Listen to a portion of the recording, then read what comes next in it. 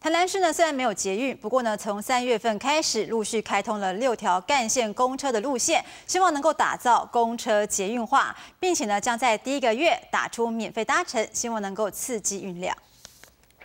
公车外观漆上绿色线条，增加辨识度。绿干线公车正式上路，以六种不同颜色作为区别。从今年三月起，台南市交通局计划每个月开通一条路线，长达三十七公里的绿干线公车将行经永康、新化到玉井，也是六条干线中路程最长、整合难度最高的一条。交通局希望能优先改善偏远山区交通边缘化问题。即便有六条干线、六十六条支线，还是没有办法完全涵盖百分之百的地区，所以我们也会有弹性的公车，没有时间表。没有班次，但是呢，会看社区市民的需要，我们来开通。这次整合新营客运、新南客运和高雄客运三家业者，要求班距十五分钟，要解决过去令民众诟病不准点、拖班、远绕等缺点，同时搭配支线转运，满足乘客搭乘需求。山区方面的路线的话，其实可能我们比较不熟。如果我们想带着孩子出去玩，其实我们又会会多一个比较多的选择。我们要到台南市的话，那那到某一站的话，我们必须要在火车站转站。